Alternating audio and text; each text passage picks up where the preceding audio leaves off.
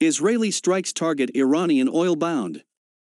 Campaign against ships using mines shows an expansion of hostilities in the Mideast. Israel has targeted at least a dozen vessels bound for Syria and mostly carrying Iranian oil out of concern that petroleum profits are funding extremism in the Middle East, U.S. and regional officials say, in a new front in the conflict between Israel and Iran. Since late 2019, Israel has used weaponry including water mines to strike Iranian vessels, or those carrying Iranian cargo, as they navigate towards Syria in the Red Sea and in other areas of the region.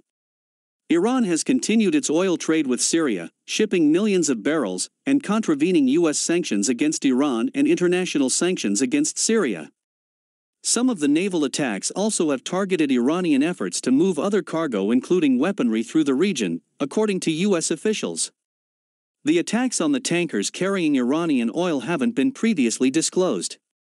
Iranian officials have reported some of the attacks earlier and have said they suspect Israeli involvement. Israel hasn't commented previously on such incidents, and Israeli Prime Minister Benjamin Netanyahu's office referred questions to the Israeli military, which declined to comment on any Israeli role in the attacks on the Iranian ships. Iranian officials at the country's United Nations mission didn't respond to a request for comment.